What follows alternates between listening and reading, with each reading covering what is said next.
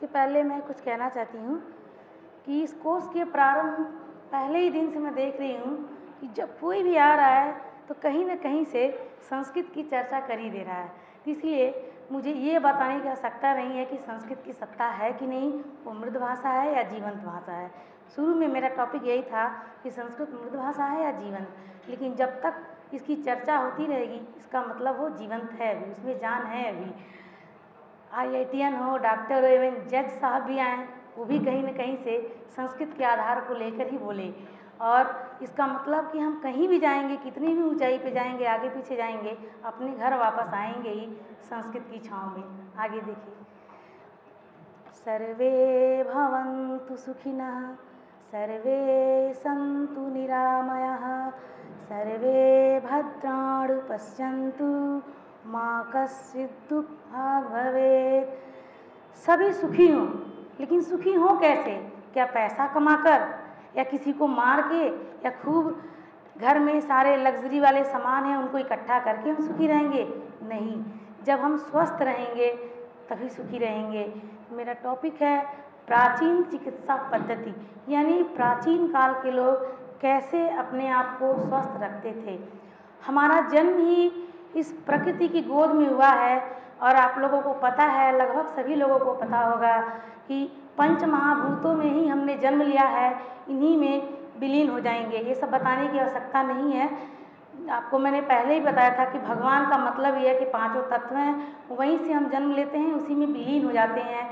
जब तक हम प्रकृति के साथ अपने को आत्मसात करते हैं, उसका अंग मानते हैं, तब तक प्रकृति भी हमें हँसते, खेलते, जीवन यापन करने का एक सुअवसर देती है और वो नाराज़ नहीं होती है। लेकिन जिस दिन अपने आप को हम प्रकृति का स्वामी मान लेते हैं कि हम ही स्वामी हैं और प्रकृति मेरे अंडर में है, उसको जैसे तैसे हम इधर उधर छेड़छाड़ कर सकते हैं तो प्रकृति भी हमसे नाराज़ हो जाती है और अपनी वो साम्यावस्था या सामंजस्य खुद बैठाती है हमारा तबाही करके। सूर्य चिकित्सा पद्धति। प्राचीन काल के लोग इसमें हमने लिखा है, संस्कृत में भी है, आरोग्यम भास्करादि गच्छेद अगर आपको निरोग रहना है तो आप सूर्य के, उगते हुए सूर्य के शरण में जाइए। जैसा कि हम जानते हैं, शुरू से ही जानते हैं, जो उगता हुआ सूर्य है, वो विटामिन डी का स्रोत है। अगर उसमें हम आजकल के डॉक्टर भी राय देते हैं कि सन बात करिए, यानी जो सूर्य उग रहा है तो वहाँ जाइए पहले लोग क्या है, तेल ओल लगा के, सूर्य के, उगते हुए सूर्य के सम्मुख आधा घंटा कम से कम विश्राम करते थे, खेलते, कूदते थे। शरीर स्वस्थ रहता था। जब शरीर स्वस्थ रहेगा तो बीमारी होगी ही नहीं। यहाँ मेरा कहने का तात्पर्य ये भी है कि बीमारी आने के पूर्व ही अपने आप को इस तरह हम प्रिपेयर कर लें कि बीमारी आने की संभावना ही न रहे। ये नहीं कि बीमार हो गए, तब चलें, आप चिकित्सा करवा रहे हैं सूर्य में जा रहे हैं तो चंद्र चिकित्सा कर रहे हैं। सूर्य अब विटामिन डी की इतनी कमी हो गई है सूर्य की इतनी कमी हो गई सूर्य के प्रकाश की हम लोग सूर्य सूर्य के सम्मुख जाने से ही नहीं जा पा रहे हैं यानी कि इतने बड़े बड़े बिल्डिंग बने चाहे जो भी कारण हो तो अब हम विटामिन डी की गोलियाँ लेनी पड़ रही हैं खाने के लिए। इसमें आ, आप लोगों को मैं बता दूँ लाल हरा नीला ये सॉरी बैनी आह पिनाला आप लोग इंग्लिश में बोलते हैं वैगव्योर बोलते हैं जो सूर्य की सात किरणें निकलती हैं, उसने ही रंग के बॉटल को अब उसमें पानी रख दिया जाए। तो मैडम जानती होंगी, आयुर्वेद वाली मैडम जो हैं, कि उस पानी को बात पित्त कफ, जिस, जो चीज़ बढ़ रहा है, उस हिसाब से एक एक ढक्कन दो दो ढक्कन दिया जाए। डिटेल में, मैं नहीं बताना चाहूँगी, आप लोग घबरा जाएँगे। तो उसमें बीमारियों के उपचार के लिए बहुत मतलब बढ़िया होता है। जिसमें दिया है ऋग्वेद में, बताया गया है कि उसकी जो अवरक्त किरणें, जो हल्की किरणें होती हैं, वो बहुत ही लाभदायक होती हैं। जिसमें संध्योपासना यानी सुबह और शाम जो सूर्य के पूजा पहले किया जाता था, वो विटामिन डी लेने के लिए किया जाता था। जैसे सिर दर्द, नाक दर्द, अकड़न, पीलिया, जलोदर, नेत्र रोग, टीवी, सूर्य, ये सूर्य मतलब इन सभी चीज़ों को खत्म करता है, उसके रोगों को नाश करता है। जल चिकित्सा, उसमें कहा गया है ऋग्वेद में, नंबर भी इसमें दिया हुआ बताने की आवश्यकता नहीं मुझे सब पवित्रा यानी कि जल जो है पवित्र करने वाली चीज़ है।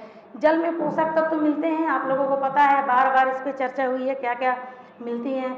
जल हमें बल प्रदान करता है, जल का तात्पर्य जन्म से लेकर लय पर्यंत, यानी मृत्यु पर्यंत जो काम आए वही जल है, जल। कभी कभी हम देखते हैं, जब हमारा हाथ जल जाता है तो हम कहते हैं जल गया। यानी हमारे शरीर से जल निकल गया। तो इसका इतना मत जब जल निकल जाता है तो फफोले पड़ जाते हैं। फिर वहाँ हम दवाई लगाते हैं, नमक डालते हैं, जिसको जो समझ में आता है, करता फिर पानी में डालते हैं। तब तक पानी में डालते हैं। जब तक वहाँ पानी की मात्रा बैलेंस बराबर ना हो जाए तो फफोले नहीं पड़ते हैं, ऐसा कहा भी गया है, और आप लोग जानते भी होंगे। तो इसमें उदर रोग, नेत्र रोग, लू बार बार जैसे पानी को बार बार पीना चाहिए, ये नहीं कि एक ही बार बीस गिलास पी लिए आपको कोरम पूरा हो गया मेरा। सुबह जब हम ऊषा पान करते हैं, ऊषा पान का बहुत महत्व बताया गया है तो वो जो बासी पेट इना कुल्ला किए ये नहीं कि हम जाकर ब्रश व्रश कर लिए तब पिए। ऊषा पान जब करेंगे तो पेट की जितनी व्याधियाँ हैं दूर हो जाती हैं, और जब पेट आपका साफ़ रहेगा तो हम स्वस्थ रहेंगे। वायु चिकित्सा। वायु चिकित्सा में प्रातः काल का वायु सेवन करने से हमें लाभ मिलता है, जब हम टहलते हैं तो वो जो पेड़ पौधे होते हैं, फूल होते हैं, पत्तियाँ होती हैं, उनसे जो हवा गुजरता है, वो हम सुनने में भी अच्छा लगता है, उसको जब हम ग्रहण करते हैं तो वाह, कितना अच्छा लग रहा है। और सुबह का हवा तो ऑक्सीजन से भरा ही रहता है, सबको पता है। जब ये सब चीज़ें हमें मिलेंगी तो बीमारी अपने आप ही स्वतः भागेंगी या नहीं, होने की संभावना रहेगी। अग्नि चिकित्सा अब आप सोचेंगे अग्नि से कौन सा चिकित्सा हो जा रहा है? लेकिन हमारे वेदों में अग्नि चिकित्सा भी बताया गया है। जैसे मान लीजिए, किसी को शीत रोग हो गया, ठंड बहुत लगे तो तुरंत हम अलाव जलाते हैं या हीटर के सामने उसको ले जाते हैं। अग्नि किसी भी रूप में मिल सकता है। ये नहीं कि हम आग जलाएँ तो ही। उसके बाद सिकाई करते हैं।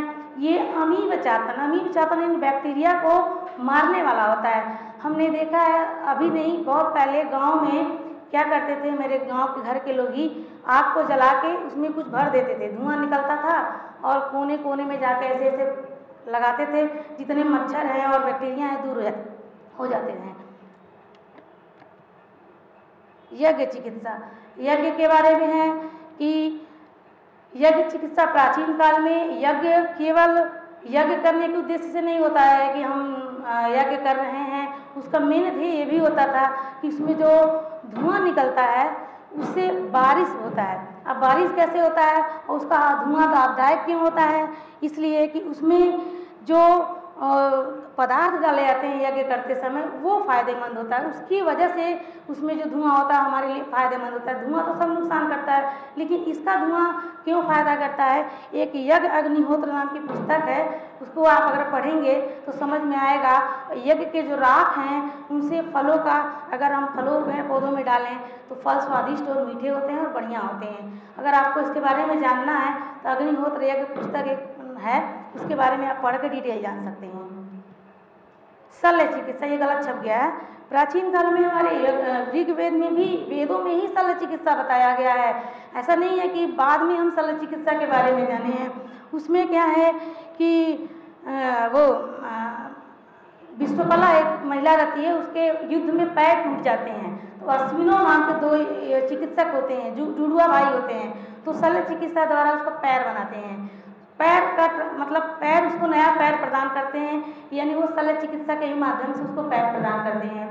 और जो आप लोग सुनते हैं चेवन ऋषि के बारे में कि चेवन प्रास खा के बहुत ताकतवर हो गए, वो तो है ही है। प्लस उनकी जो झुर्रियाँ हो गई थी, आजकल सलमान खान जो आँखों पर झुर्रियाँ आती हैं, उसको हटा हटा के यंग बनते हैं, वो सब भी उस समय था। तो उन्होंने उनको इस तरह से उनके चमड़े को बदला कि वो यंग दिखने लगे और चयन प्राप्त तरह तरह के फल फूल को खिलाया गया तो यंग बन गए। उनकी, उनका विवाह नहीं हो रहा था, वो वृद्ध हो गए थे। लेकिन जब यंग हो गए तो सोलह साल की सुंदरी उनको मिली। अब कल्पना कर लीजिए, आप लोग भी सोलह साल की कन्याएँ पा सकते हैं। स्पर्श चिकित्सा। स्पर्श चिकित्सा के बारे में आप जानते हैं। स्पर्श एक ऐसा माध्यम है कि जब हम अभी आप बैठे हैं, किसी भी महिला को, कोई भी पुरुष, अन्यथा मत लीजिएगा। अगर उसे स्पर्श करता है तो उस महिला को पता चल जाता है कि किस भाव से, किस सेंस से मुझे स्पर्श कर रहा है। उसके स्पर्श करने का ध्येय क्या है? किसी बालक को या बच्चे को भी जब हम उसे स्पर्श करते हैं तो उस बच्चे को भी पता चल जाता है कि क्या है उसके अंदर। जब बीमार कोई पड़ता है, केवल स्पर्श करिए तो आधी बीमारी तो ऐसे ही दूर हो जाती है। मानसिक चिकित्सा मानसिक चिकित्सा। जो मानसिक रोग से ग्रस्त होते हैं वो अनाप शनाप बकते हैं। तो ऐसे इसमें भी बताया है आश्वासन विधि इसकी सबसे बड़ा उपचार है कि उसे बैठाइए प्रेम से समझाइए तुम्हें कुछ नहीं हुआ है तुम सब ठीक हो तुम सब कर लोगे। आश्वासन विधि सबसे अच्छा मानसिक चिकित्सा है का उपाय है। जो साइकोलॉजी जो आजकल पढ़, पढ़ती हैं मैडम जानती होंगी उन्होंने लेक्चर भी इस पर दिया था। तो मानसिक चिकित्सा के लिए सबसे बढ़िया उपाय है उसे आश्वासन दिया जाए प्रेम से उसके साथ बैठिए बोलिए आधी बीमारी ऐसे ही दूर हो जाएगी। योग चिकित्सा। योग के बारे में बहुत लोगों को भ्रम है कि योग करने से नहीं, ऐसे ही जैसे सर ने बोला फूक पाक शुरू कर देते हैं, ऐसा कुछ नहीं है। योग योग चिकित्सा तन और मन दोनों को जोड़ता है। जब तन स्वस्थ रहेगा तो मन भी स्वस्थ रहेगा। इसका सबसे, सब, इसमें हड़प्पा कालीन भी दिखाया गया है। उसमें योग मुद्रा में जो मूर्तियाँ प्राप्त हुई हैं, उसका आगे जो बाबा रामदेव तो प्रचार प्रसार किए ही हैं, लेकिन उसका सबसे अच्छा मैं उदाहरण अपने घर में दूँगी, मेरे पिताजी पचहत्तर साल, अठहत्तर साल की अवस्था में उनका डेथ हुआ। वो जब रिटायर्ड हुए तो योग करना शुरू कर देते हैं। उनके सिर पे बिल्कुल बाल नहीं था, एक रोए भी नहीं थे। लेकिन जब करने लगे तो मैंने देखा कि छोटे छोटे रोए ब्लैक ब्लैक से हल्के हल्के से खूब गन्ने गन्ने उन पर बाल आ रहे थे। मैंने पापा से कहा, पापा, आप तो यंग हो रहे हैं। तो उन्होंने बोला कि तुम भी क्या करो, शुरू से करोगे मुझे तो समझ में नहीं आया, मैं बाद में शुरू किया, लेकिन तुम शुरू से योग करो, तुम्हें भी स्वस्थ रहोगे। लेकिन हम लोग कह तो रहे हैं, लेकिन वास्तव में मैं योग करती नहीं हूँ। करना तो चाहिए ही, लेकिन कर नहीं पाती हूँ घर गृहस्थी के मामले में। और उसके फ़ायदे हैं, इसमें बहुत टाइम नहीं है कि मैं कैसे बताऊँ। जैसे कि हमारे मोरध्वज भाई बोल रहे थे कि प्राण क्या है? प्राण निकल जाता है। मैं उसको अलग से बता दूँगी प्राण क्या है। धन्यवाद।